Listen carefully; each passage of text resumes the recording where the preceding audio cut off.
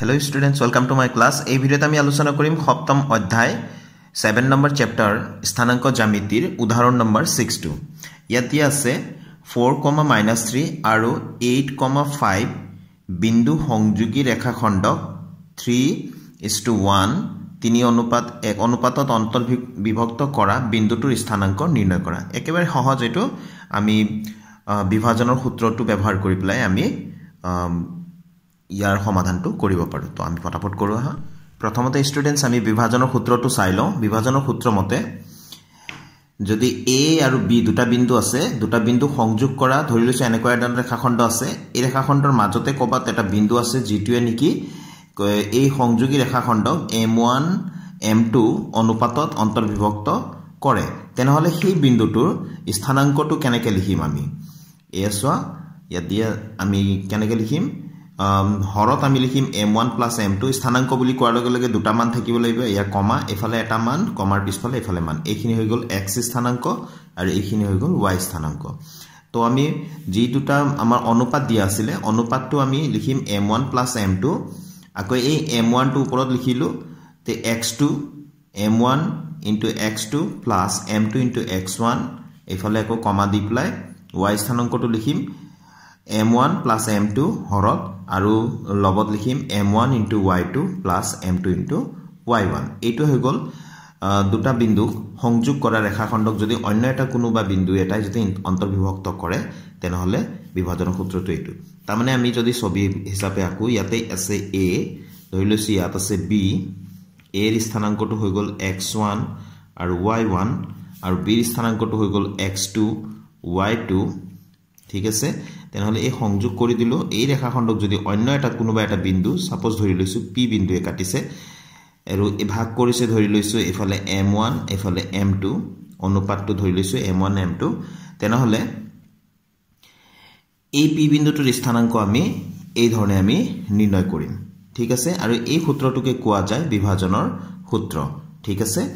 তো এই সূত্ৰমতে এতিয়া আমি উদাহৰণ নম্বৰ ছিক্সৰ সমাধান কৰিম।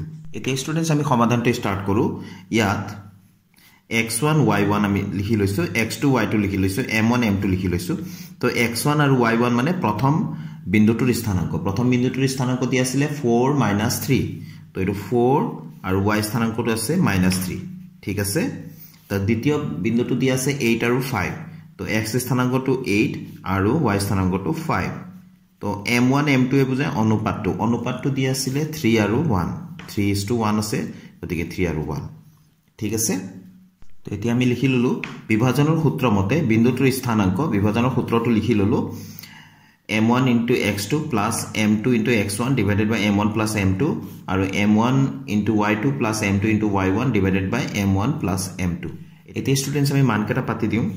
ইয়াতে আমি তলত পাতিম M one plus M two তো এম ওৱান আছে থ্ৰী এম টু আছে ওৱান তো ইয়াতে আমি লিখিম থ্ৰী প্লাছ ওৱান ঠিক আছে এম ওৱান আছে ইয়াতে থ্ৰী ইনটু একো চিন নাই মানে পূৰণ এক্স টু মানে কিমান আছে এইট তো three into eight plus M two মানে কিমান আছিলে ওৱান তো ওৱান পাতিলোঁ একো চিন নাই মানে পূৰণ এক্স ওৱান মানে কিমান আছে ফ'ৰ তো ফ'ৰ পাতিলোঁ ঠিক আছে একেধৰণে এইফালেও আমি পাতিম M one plus M two আছে হৰত তো থ্ৰী প্লাছ ওৱান আৰু এম ওৱান মানে থ্ৰী এইটো আকৌ ৱাই টু মানে ৱাই টু মানে আছে ফাইভ তো এম ওৱানৰ লগত ৱাই টু পূৰণ কৰিম আৰু এম টুৰ লগত ৱাই ওৱান পূৰণ কৰিম। তো এম টু মানে আছে ওৱান ইনটু ৱাই ওৱান মানে আছে মাইনাছ থ্ৰী তো ব্ৰেকেট আমি লৈ পেলাই এইটো মাইনাছ থ্ৰী লিখিলোঁ। আগৰ ডাঙৰ ব্ৰেকেটটো আমি এনেকৈ ক্ল'জ কৰিলোঁ।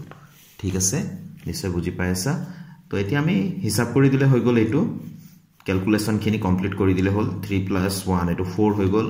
Eight three J twenty four plus four one J four আৰু ইফালে এইটো ফ'ৰ হ'ব তলত five three J fifteen plus minus পূৰণ হ'লে মাইনাছ হ'ব জে থ্ৰী ঠিক আছে? একেবাৰে সহজ। জাষ্ট ডাইৰেক্ট আমি ফৰ্মুলাটো ব্যৱহাৰ কৰিলে হৈ গ'ল। তো ইয়াত আহিব টুৱেণ্টি এইট বাই ফ'ৰ ব্ৰেকেটৰ ভিতৰতে লিখিব লাগিব যিহেতু এইটো স্থানাংক হয়। তো ফিফটিনৰ পৰা থ্ৰী গ'লে টুৱেল্ভ বাই ফ'ৰ তো four seven zero' twenty eight আৰু এইটো ফ'ৰ থ্ৰী জিৰ' টুৱেল্ভ নহয় জানো? এইটো ছেভেন এইটো থ্ৰী তো এইটো ছেভেনটো অকণমান ওপৰত লিখিব লাগিছিলে মই। এইটো টুৱেণ্টি এইটক আমি ফ'ৰেৰে কাটিলোঁ ছেভেন টাইম এইটো আমি পালোঁ ছেভেন আৰু ইফালে পালোঁ কমা ফ'ৰেৰে টুৱেলভক কাটিলোঁ থ্ৰী বাৰ তো থ্ৰী তো ছেভেন আৰু তো আমি শেষত লিখি দিলোঁ এতেকে নিৰ্ণয় বিন্দুটো ব্ৰেকেটৰ ভিতৰতে লিখিম বিন্দুৰ বিন্দুৰ স্থানাংক লিখোঁতে ছেভেন কমা থ্ৰী তো এইটো হৈ গ'ল আমাৰ সমাধানটো। তো নিশ্চয় অংকটো তোমালোকে বুজি পাইছা বুলি মই আশা ৰাখিলোঁ তেনেহ'লে আজিৰ ভিডিঅ'টো মই এটা সামৰিছোঁ ষ্টুডেণ্টছ নেক্সট ভিডিঅ'ত আকৌ লগ পাম নতুন কুৱেশ্যনৰ চলিউশ্যনৰ সৈতে। থেংক ইউ ষ্টুডেণ্টছ কিপ ৱাচিং মাই চেনেল